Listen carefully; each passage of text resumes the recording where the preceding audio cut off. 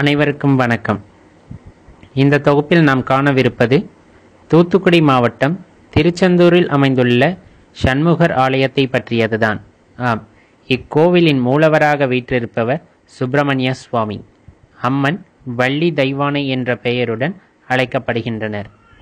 இத்தலம் மட்டுமே கடற்கரையில் அமைய பெற்றுள்ளது பிற ஐந்து கோவில்களும் மலை கோவில்களாகவே அமைய பெற்றுள்ளன என்பது குறிப்பிடத்தகுந்ததாகும். முருகனை பற்றியோ திருச்செந்தூரை பற்றியோ அறியாதவர்கள் யாரும் இல்லை என்று கூறினாலும் இக்கோவிலை பற்றிய வரலாறுகள் நமக்கு தெரிந்தவரையும் கூறியாக வேண்டும். தேவர்கள் தங்களை தொந்தரவு செய்த சூரபத்மனை அழிக்கும்படி சிவபெருமானிடம் முறையிட்டனர்.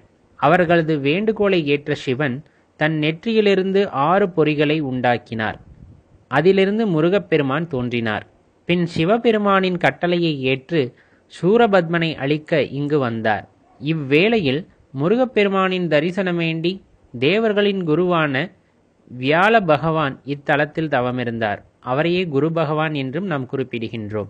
குரு பகவானுக்கு காட்சி தந்த முருகப்பெருமான் இவ்விடத்திலேயே தங்கினார். குருவின் மூலமாக அசுரர்களின் வரலாற்றை பற்றி தெரிந்து கொண்ட அவர் தனது படைத்தளபதியான வீரபாகுவை சூரபத்மனிடம் தூது அனுப்பினார். சூரபத்மனோ இவரின் தூதுக்கு கட்டுப்படவும் இல்லை அதற்கு செவிசாய்க்கவும் இல்லை. பின்பு முருகன் தன் படைத்தளபதிகளுடன் சென்று அவனை வதம் செய்தார். குரு பகவான் முருகனிடம் தனக்கு காட்சி தந்த இவ்விடத்தில் எழுந்தருளியும்படி கேட்டுக்கொண்டார் அதன்படியே முருகனும் இங்கு தங்கினார். பின்பு குரு பகவான் விஸ்வகர்மாவை அழைத்து இங்கு கோவில் எழுப்பினார். முருகன் சூரனை வெற்றி பெற்று ஆட்கொண்டதால் இவர் செயந்திநாதர் என அழைக்கப்பெற்றார். பிற்காலத்தில் இப்பெயரே செந்தில்நாதர் என மருவியது. தலமும் திருஜெயந்திபுரம். ஜெயந்தி என்று குறிப்பிடப்படுவது வெற்றி என்று பொருள்படும் என அழைக்கப்பெற்று திருச்செந்தூர் என மருவி இருக்கலாம் என்று கருதப்படுகின்றது.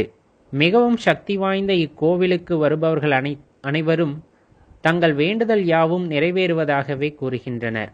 ஆம் மிகவும் சக்தி வாய்ந்த தலம். குறிப்பிடத்தகுந்தபடி சொல்லு குறிப்பிட்டு சொல்ல வேண்டுமென்றால் சுனாமி என்று க ஆழி பேரலை வந்த போதும் கூட எந்த பகுதி பாதிக்கப்பட்ட போதும் முருகன் தன்னை நம்பியிருந்தவர்களை கைவிடாமல் இவ்வூரையே கட்டி காப்பாற்றினார் என்று கூறினால் அது மிகையாகாது. செந்தில் ஆண்டவனை பார்க்க ஒரு முறையேனும் இங்கு வந்து பாருங்கள். உங்கள் வாழ்வில் ஏற்றமும் நலமும் பெற்று மிகுந்த ஆனந்தத்துடன் வாழ்வீர்கள் என்று உறுதியிட்டு கூறுகின்றோம். நன்றி வணக்கம்.